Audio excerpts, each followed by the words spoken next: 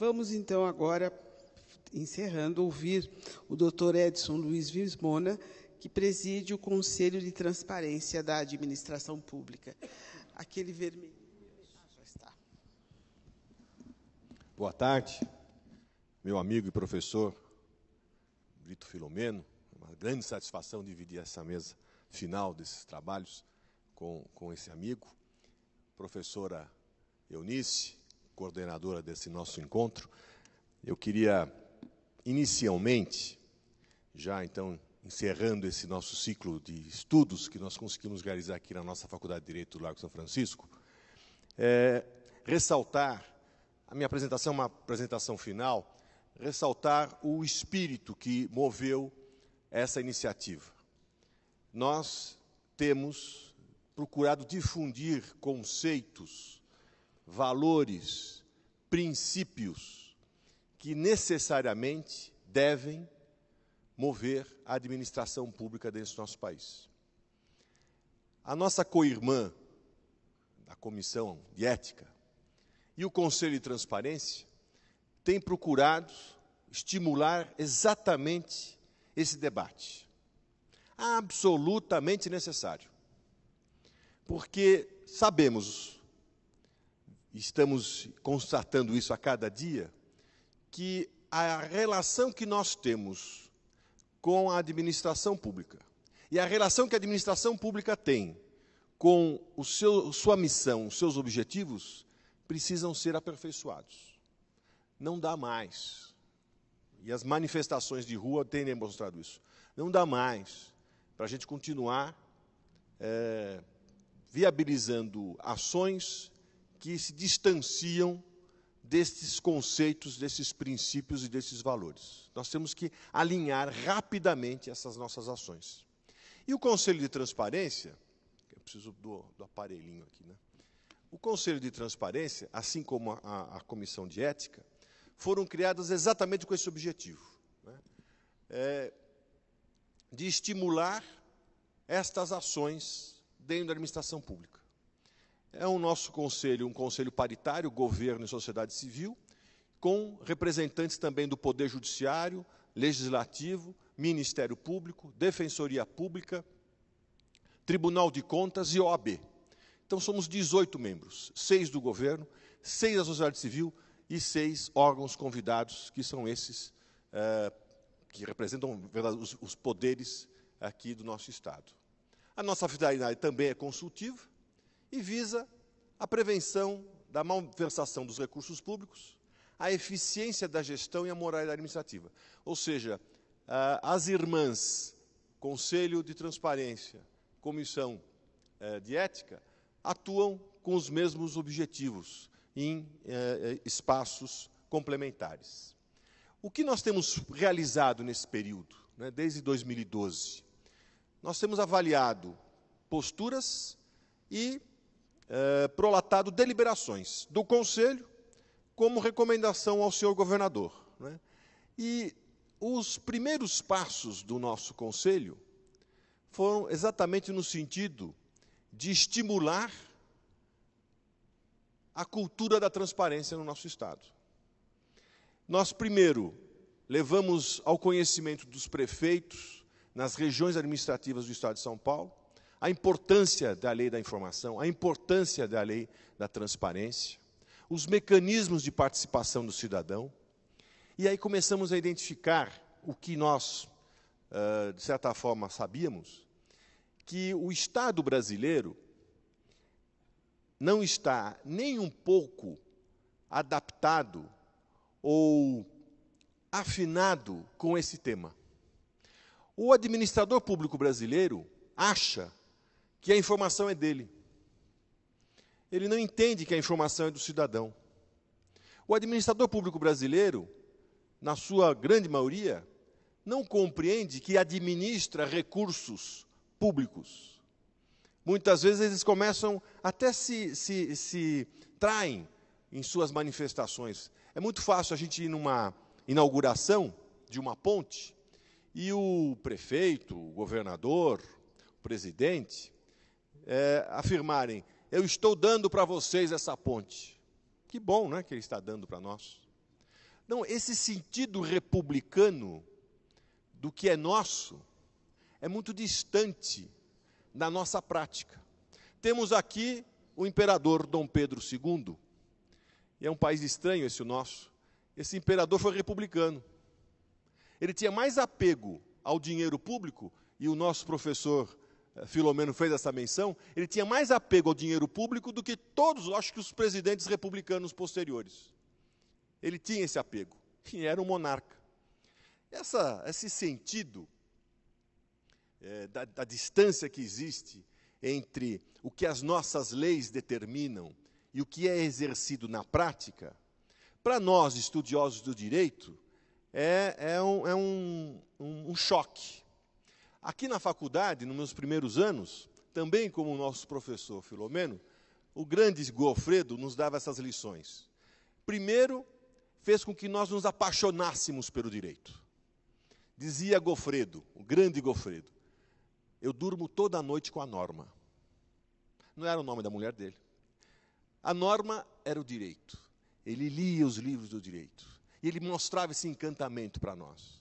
E ele também dizia: Mas eu tenho grandes brigas com a norma, conflitos com a norma, porque nem sempre a norma reproduz o que é justiça, o que é direito. Essa contradição que nós vivemos no nosso país eu fui procurar entender melhor e encontrei em Alceu de Amoroso Lima a explicação. O Brasil começou pelo fim. Quando a família do imperador chegou aqui, eles tomaram conta do nosso território e dividiram isso em quê? Em capitanias hereditárias. Para cada capitania, um governador. Veio o ouvidor geral à época, que era uma espécie de juiz.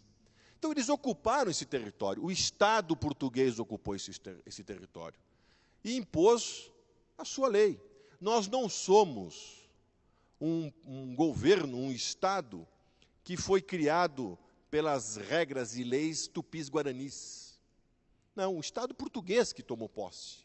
Então o Estado chegou primeiro, a sociedade veio depois. E aí vem a origem de toda essa, essa contradição que existe nós não nos reconhecemos no Estado. E o Estado não nos reconhece. E isso persiste. Das nossas eleições, aquela maquininha que a gente vota, eu, eu tenho essa tese, doutor Eunice, de que aquele barulhinho, aquela maquininha, ela tem um efeito hipnótico. Quando você escuta aquele barulhinho, você esquece em quem votou. E quem foi eleito esquece que foi eleito. E começa a agir como se ele estivesse administrando o que é dele.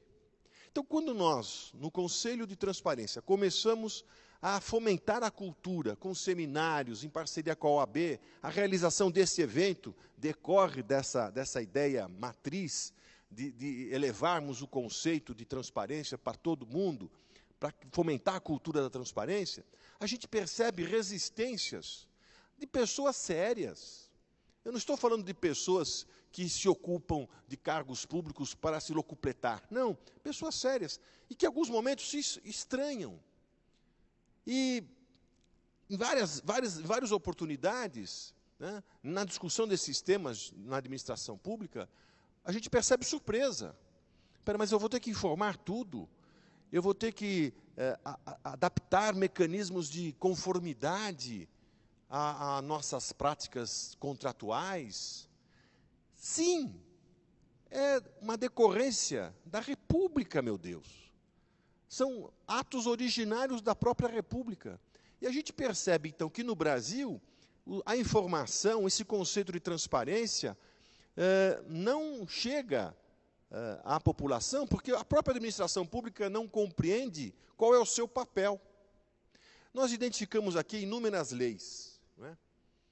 Começando pela nossa Constituição, que no seu artigo 30, 37 fala dos, dos princípios da administração pública, até após a Constituição, dez anos depois, com a emenda constitucional de 98, tratando das formas de participação da administração, na administração pública, ou seja, a Constituição de 88, dez anos depois, regulamentou um outro princípio constitucional da validade do poder aqui exercido, que é não só a democracia participativa, mas a democracia representativa, ou ao contrário, representativa, mas participativa. Ou seja, elegemos os nossos representantes, claro, e temos o direito de participar da administração pública. E é dever do Estado fomentar esses mecanismos de participação. Porém, esse instrumento de participação, ele, ele, ele, ele, tem resistências muito fortes, como disse ao seu Damoroso Lima, originárias. O Estado brasileiro não está acostumado a dividir informações, a ser transparente, a ter controle. Não está na nossa origem. O serviço público brasileiro é, ainda é considerado, especialmente pelas pessoas mais humildes, como algo que se dá, é algo dado. Não é uma prestação de serviço o serviço público no Estado, o Estado brasileiro não se coloca como prestador de serviços. E ele é. Então nós temos que estimular sempre esse debate, fortalecendo esses conceitos, para, identificando os princípios que nós aprendemos nesta casa, sermos justos, viabilizarmos esses mecanismos de, de interação e de responsabilidade da administração pública.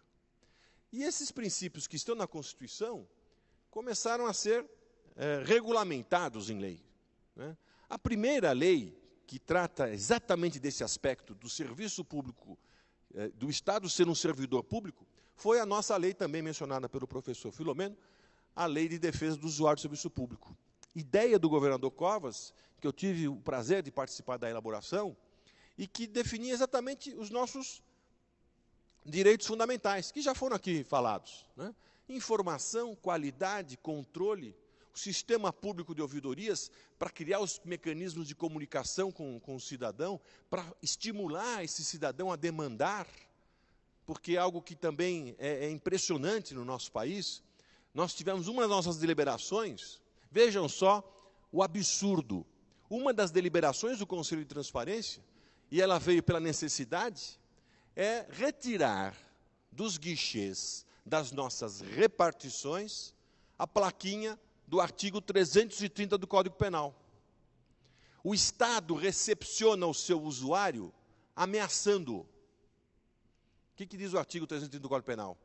Crime de desacato. É esse, essa recepção que nós temos quando procuramos muitas vezes o serviço público de saúde. Atrás lá do, do atendente tem o artigo 330, nos ameaçando dizendo: olha bem o que vocês vão falar, porque senão é crime de desacato. Essa recepção que o Estado tem que dar ao usuário, diz a lei de, de, de defesa do usuário do Serviço Público de São Paulo, jamais. Nós temos que estimular que esse cidadão apresente as suas demandas e recepcioná-las e entender que isso é o direito do cidadão e é dever da administração pública. Veja, são conceitos seculares e aí vem a grande dificuldade brasileira, entre outras, é transformar a lei em ação. As nossas leis, e nós achamos que uh, as respostas que a administração pública dá, que os governos dão, geralmente é: vamos fazer leis. Né? Após os 2 milhões de pessoas nas ruas uh, no dia 15 de março, no dia seguinte, qual foi a resposta do governo? Leis. Faremos mais leis. Ora, a nossa grande revolução ainda no Brasil é colocar as leis em prática. Essa é a nossa dificuldade. Lei já tem bastante. Vamos colocar em prática. E a lei de defesa do usuário fez 15 anos, mas é uma grande desconhecida no nosso Estado. Grande desconhecida. Por quê? Porque nunca se estimulou a divulgação dessa lei. Por quê? Porque o governante não quer? porque não faz parte da nossa cultura. Falar em direitos do usuário é algo ainda estranho. Então, dentro das prioridades da administração pública, eu vou fazer outras divulgações, porque divulgar os nossos direitos como usuário, hum, isso para depois. É, não é tão importante. Claro que é importante, porque nós precisamos capacitar fazer com que o cidadão seja protagonista de um processo crítico com relação ao uso do dinheiro que é dele. Há outras leis que, que, que tivemos nessa sequência, leis já deste século, que também aqui já foram abordadas, lei de acesso à informação e a lei da transparência. Essas leis, nós estamos num esforço de transformá-las em realidade. Avançamos já muito. Os serviços de informação ao, ao cidadão estão criados nos órgãos públicos, as nossas ouvidorias estão aí trabalhando, né? ah, os portais de transparência estão são, foram feitos, estão sendo aperfeiçoados. E esse princípio inglês, do accountability, é, é o que nós temos que cada vez mais enaltecer. Porque, repito, a administração pública brasileira não está acostumada com isso. E qual que é esse princípio? A obrigação de prestar contas sempre que você administrar aquilo que não é seu. Minha mãe ensinava isso quando eu era criança, eu não sabia que ela conhecia o princípio da accountability. Né? Ela é uma grande professora de princípio da accountability. Ela me ensinava isso. Quando você administra o que não é seu, quando você tem um brinquedo que não é seu, você tem mais obrigações do que se fosse o seu brinquedo. Porque aí você tem responsabilidades com o outro.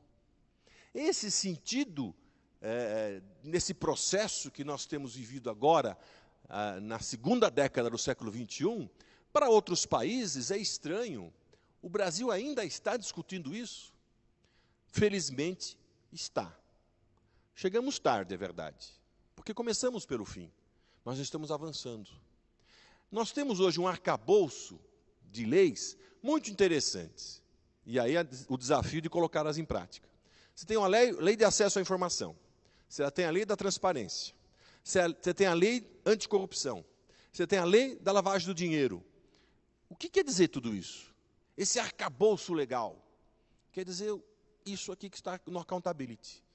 Quem administra o que não é seu tem que ser responsável e tem que prestar contas. Nós temos que combater a corrupção, a lavagem de dinheiro. Para isso, a nossa administração pública tem que se capacitar e rapidamente. Os mecanismos chamados de compliance, de conformidade, quem atua na administração pública que sabem que esses mecanismos são inéditos. A administração pública não está ainda capacitada para entender essas fórmulas que o nosso código de ética define. O compliance do Estado está num código de ética. Agora, esse código de ética foi divulgado amplamente? Esse código de ética está na mesa dos nossos funcionários? Os mecanismos de compliance estão sendo respeitados? estão sendo fortalecidos. O Estado exige das empresas que, que ele contrata que também respeitem esse código de ética, que atendam esses mecanismos de compliance? Não, mas precisa fazer, porque nós precisamos executar essas leis. Só executando, exercitando essa cultura, de todos os painéis que nós tivemos aqui, eméritos professores, mostrando exatamente aquilo que nós sabemos o que existe? Leis, regras, regulamentos. Mas estão sendo praticados?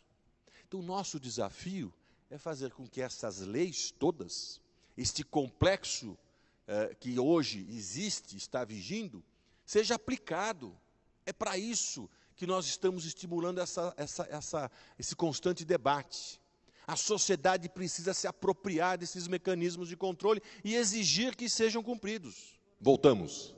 Não tivemos pausa para o patrocinador, mas, mas eu fui corrigido já na pausa. É 331, que 330 é obediência, e, e diz aqui um usuário que esse, esse cartaz está aqui na faculdade em vários departamentos, viu, doutor professor Eunice? Em vários departamentos ele persiste. Isso mostra a resistência.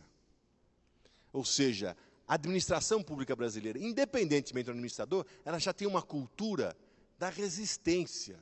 O cidadão é um chato. É um chato. Eu sei o que eu estou fazendo. É por isso que eu falei, esquece o administrador quando é eleito com aquele plim-plim, ele passa a administrar aquele achando que eu fui eleito, agora deixa comigo. E o cidadão é um chato, que vem insistir em questionar, e essa, essa visão da democracia que precisa ser ressaltada. Primeiro, é um processo. Processo contínuo a democracia. Quem lutou contra a ditadura achava que com a democracia todos os nossos problemas acabavam. Mentira. Nós tínhamos que viver um processo de amadurecimento, de crescimento, processo evolutivo, duro, difícil, que contemple representação e participação. E aí é que nós identificamos claramente que para, para superar as resistências que o nosso Estado tem com relação aos direitos do cidadão, estas, todas essas leis têm que ser aplicadas. E aqui nós, nós salientamos uma, uma, uma iniciativa, a Marinês é, Fornazaro deve ter a, tratado desse, desse tema, das ouvidorias aqui no Estado de São Paulo, porque para fomentar essas demandas, não basta você ter definidas essas ouvidorias. E a lei paulista obriga, todos os órgãos públicos têm que ter ouvidorias. Porém, se essas ouvidorias não tiverem efetividade, meios para efetivamente atender às demandas do cidadão, elas são inócuas. Elas não vão ter resultado. Assim como a nossa comissão de ética, assim como o nosso conselho de transparência. Se o administrador não entender isso, fica lá um instrumento legal muito bonito, um diploma muito bonito, só que na prática não acontece. Com as ouvidorias, nós criamos um incômodo para o administrador público. Ele talvez não soubesse disso, mas nós criamos um incômodo. Nós começamos necessariamente a ter canais para atender demandas. Ou seja, o cidadão tem como é, é, enviar as suas demandas. E a partir daí, recebendo essas demandas, você tem que dar um tratamento a elas. Você tem que dar respostas. Ou seja, da informação, nós estamos evoluindo para a comunicação.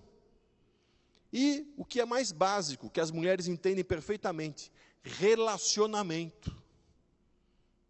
Vamos discutir o relacionamento do Estado com o cidadão. Esse é o clamor das ruas, para usar uma figura poética. Esse é o clamor das ruas vamos e queremos ser compreendidos, que as nossas demandas sejam avaliadas, que estas demandas tenham uma implicação na gestão da administração pública, que os nossos dirigentes tenham nessas demandas um meio de aferir as nossas necessidades e decidir a aplicação dos nossos recursos, nossos recursos, de forma a entender essas demandas esse é o princípio das nossas ouvidorias, que nós estimulamos com base nos princípios do ombudsman. É o representante do cidadão. Mais do que atender demandas, ele tem que representar, esse é o nosso objetivo, que ele seja o representante, ou seja, que ele atue em nome do outro.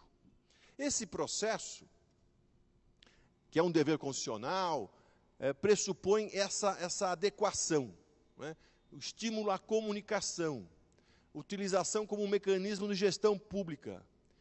E, enfim, é o, é o grande objetivo: resgatar os valores democráticos, os valores republicanos que o imperador defendia.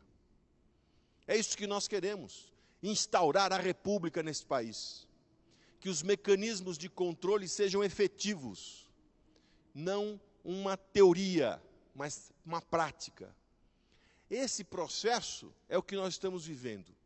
E que, felizmente, nós temos no Estado de São Paulo mecanismos para influir, pressionar. Mas as resistências permanecem, porque não querem. No fundo de tudo isso, nós estamos discutindo mecanismos de poder. E ninguém cede poder de uma forma tranquila. Por isso que nós vamos ter que teimar, nós temos que insistir para que a República encontre a nossa Constituição, ou que a nossa Constituição encontre os valores da República. No Brasil, o único lugar que eu conheço que a Constituição encontra a República de forma eh, clara é no Rio de Janeiro. Porque lá a Rua da Constituição termina na Praça da República. Lá eu sei que a Constituição encontra a República. Eu quero, saindo do aspecto geográfico, que nós aqui debatemos essa semana rica uh, de, de, de, de informações, que a gente entenda, compreenda, e o administrador público também passe a entender.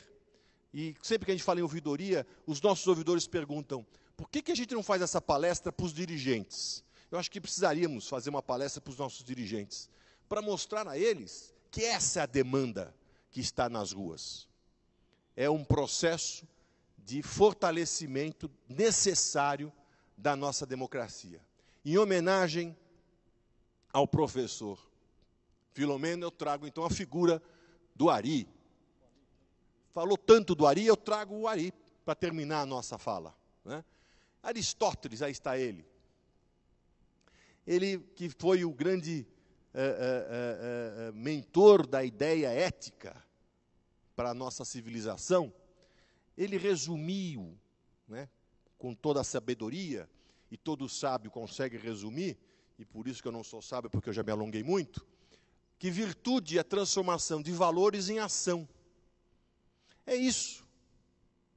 Eu só vou ser virtuoso, e nós aprendemos na nossa faculdade exatamente isso, que só seremos virtuosos se os valores, os preceitos éticos, as normas, que dizia tão bem nosso querido Gofredo, forem aplicadas.